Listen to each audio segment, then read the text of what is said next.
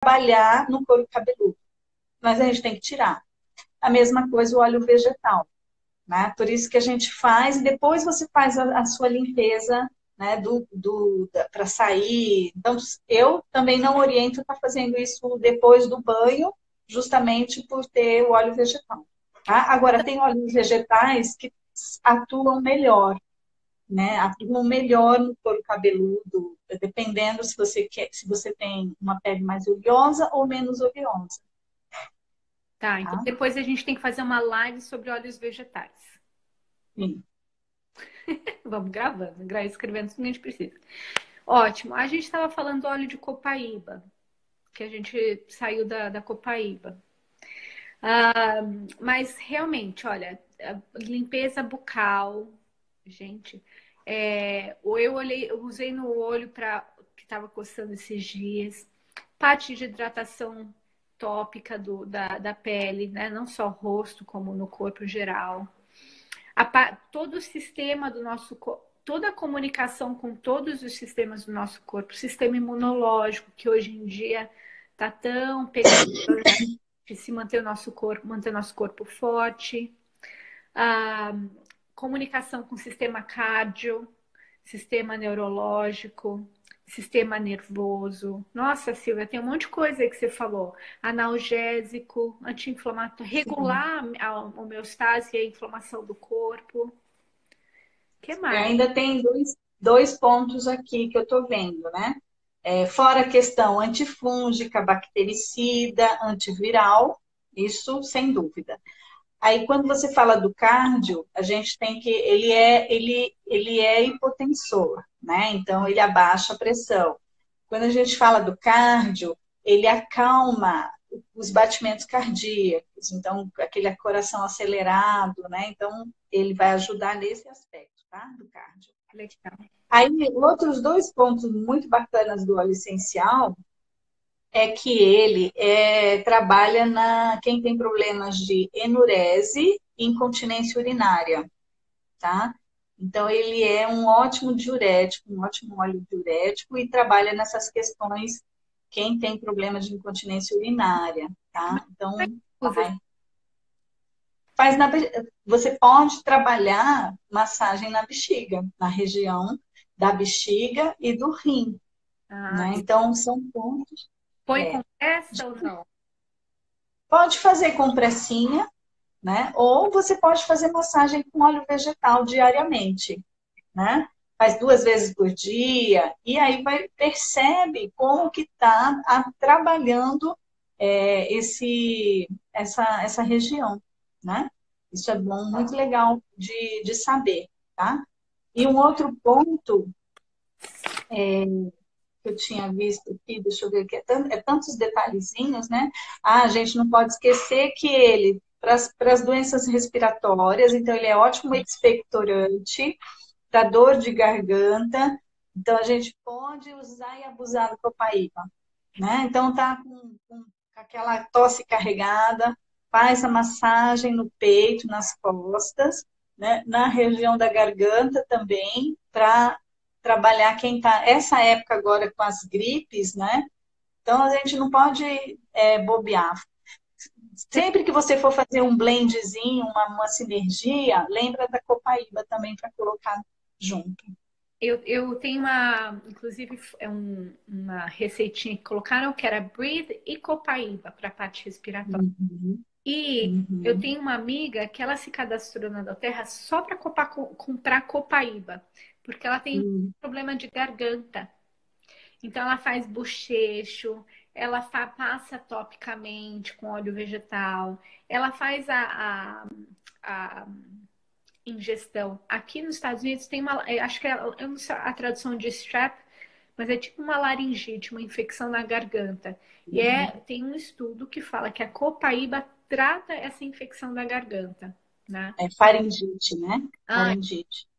A, a, Renata fala que ela usa diariamente preventivo anti-idade, porque a gente não chegou na, nessa idade que precisa, né, Renata? Imunidade Exato.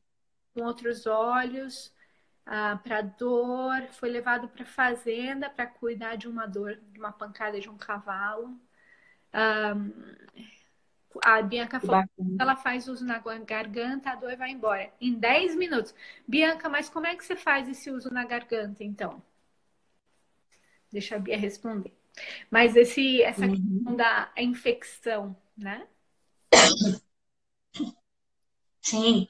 E aí, a gente. É, aí, outro ponto também que a gente não pode deixar de falar é das, da, das questões carminativas. Ele tem uma propriedade carminativa, ou seja, estômago, tá? Então, dores, dores abdominais, inchaço, vômito, náusea. Então, são, é, é um ótimo óleo para você fazer massagem, né? E vai ajudar nessa, nessa questão é, do, do estômago intestino, tá? Não entendi. Seja, fala de novo aí. Eu não entendi essa aplicação. Acho que eu estava olhando os, os, negócios que eu me viajei. Você vai fazer massagem isotópica na região né, do intestino, da região estomacal ali. Por quê? Porque ele ajuda, né, ele auxilia nas questões do estômago, é, como náusea, como é, como dores abdominais, é, aquela sensação de inchaço. Então é né? tipo. Gases, gases. Quem tem gases, faz uma massagenzinha com copaíba que vai ajudar. Entendi. Ele é, uma, ele é um parceiro dos Engest, então. Sim, sim. Olha que legal. A Renata, é tanta coisa. O tratamento é do cavalo e não da pessoa que levou a pancada do cavalo. Nossa, o cavalo tá usando copaíba. Fala como agora, Renata? E a, a Bia... É, eu entendi. Eu lembro que ela perguntou é, que se, se tinha aromaterapia para cavalos, né? E aí é, era por isso, então, Renata. Ó, e a Alessandra usa limão, orégano, copaíba, melaleu com gádio, 10 gotas de cada e acrescenta óleo de coco. É perfeito. Aí você faz uso tópico, Alessandra. É, explica como que se usa. A Bianca falou que ela usa copaíba e ongade e ela passa no pescoço. Hum. Sim, é perfeito. O... Né? É, você pode fazer gargarejo também, né? Lembrar do gargarejo para questão de inflamação, infecção da garganta. Ele é muito bom, muito, muito eficaz também. A Ria fala, os cavalinhos da mamãe usam, e a Bianca também. E a, então, e a Alessandra usa o tópico. Legal. Legal, olha aí, tá vendo? Olha, Você vê como que... Não, Sil, uhum. porque ele é uma árvore, né? Ah, o emocional. É. Então, vamos falar da parte mental né, e emocional. Então, é, o mental, a gente tem que lembrar que, porque ele trabalha as inflamações, né? Então, a gente tem que pensar no nosso é, cortisol. E aí, ele também regula o nosso cortisol. No momento que ele regula o nosso cortisol, a gente tem, ele serve com isso como um processo anti-estressante, né? É, calmante, relaxante. E, inclusive, aí a gente entra lá no canabidiol, né? Pelo efeito do, do, do beta-cariofileno, ele também traz esse efeito calmante, relaxante, tá? Esse é um ponto da mental. Aí, né? aí a Malu agora vai... Não, eu, eu nem vou dar muito... Acho que, eu acho que tem... É, vamos falar aqui que quando você vai para a floresta, para um parque, sente o cheiro da natureza, né? E quando eu cheiro, quando eu cheiro a copaíba, é exatamente isso, é o, é o cheiro da árvore, né? Então é aquela coisa de é, tranquilizar mesmo, que é o que a natureza faz com a gente, né? E eu acho que a gente tem que se remeter à figura, à figura como o, o Rafael e o Rodrigo fizeram ontem na live, que é a, o aterramento, a força, né? A união das árvores e a circulação ali. Então, é, a, o que que a gente, o que que remete isso dentro da gente, né? É a vida, é o óleo da vida, da, de trazer ali uma esperança, um, um, um olhar diferente. Então, eu acho que ele traz essa mesmo, essa abertura, essa calma, essa é, ligação, né? É, eu acho que nessa, nesse momento que a gente está agora, de enclausuramento, isolamento, começa a ter que ter uma convivência com a família que, tá, que a gente não tem, né? E a gente está 24 horas, sete dias de semana com todo mundo. Então, eu estava falando até para o Fábio, como é, que, como é que a gente sobrevive ao coronavírus, né? E não é fisicamente. Como é que a gente sobrevive emocionalmente? Mentalmente, em família, né? Como é que a gente não se divorcia com o coronavírus? Então, é essa saúde mental, além da saúde física, essa saúde mental, emocional, que a gente precisa ter, né? Essa, essa, essa esperança de que as coisas vão passar, essa calma e essa estabilidade, né? Aterrar mesmo. Então, Copaíba acho que é super aplicado para esse momento. É. E quando a gente fala das questões emocionais na psicoaromaterapia, tem uma linha que fala que o órgão né, que afeta é, aquele, óleo, aquele óleo é também é, emocionalmente, a gente fala de fisicamente, mas também emocionalmente. Então, para você ver como ele tem um efeito potencial do coração, né, de trabalhar essas questões físicas do coração, então a gente pode com certeza incluir ele nas questões é, psicológicas, né, é, sutis do coração, no, no, sentido emocional mesmo. Então, assim, é, faz a massagem no coração, na região, eu acho que é, assim, é muito bom. A inalação também é potencialmente efetiva, né, nas questões emocionais. Legal. Então é isso, gente. Olha, acho que assim, é, é muito prazeroso estar falando sobre os óleos essenciais, né? Mas o mais importante é a gente fazer o uso, né? Saber usar e usar, usar, usar, muito, muito mais nesse momento. E eu vou te falar um exemplo, assim, uma questão pessoal minha. Eu, poxa, eu tenho, eu, eu acho que eu não tenho centenas de óleos, mas eu tenho dezenas de óleos na minha casa.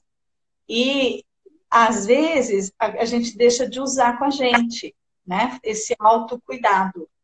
E eu adoeci, eu gripei, eu fiquei muito ruim, muito ruim mesmo. Até a hora que eu assumi e resolvi falar, ó, oh, filha, vai te cuidar, né? Vai atrás, pega os seus olhos e use em você. Né? Então, assim, foi aí que eu comecei realmente a ter uma melhora de questões né, gripais, né? justamente nessa fase que a gente mais é, menos poderia estar adoecendo, né? Que não deveria. Então é isso, que, que assim, que sirva de exemplo, né? Para que para que realmente faça, a gente faça uso, use mesmo. A gente não pode ter esse frasquinho dentro da nossa, do nosso guarda-roupa, do nosso armário, é, e, e, assim esquecê-los, né? Ou às vezes não pensar que eles podem estar sendo usados em primeiro lugar. Né? Então, já que e, e muita gente ela passa pela dor, ela passa pelo processo de, de enfermidade sem querer usar medicamento. Né? Muita gente tem essa consciência. Não, não quero ir, não quero ir pegar, não quero usar o remédio, não quero usar determinado remédio. Então vai tentando, vai protelando né, o uso. Então, a gente, como primeira opção, a gente tem que ir primeiro realmente no, no óleo essencial e ver a melhora, porque ela, ela acontece. Tá? Legal. Eu, pra, eu acho é interessante mesmo. A gente tem que estudar e a gente tem que usar e a gente tem que desafiar aquilo que a gente está aprendendo, né? Saber se realmente Exatamente. aquilo. Olha, eu sugiro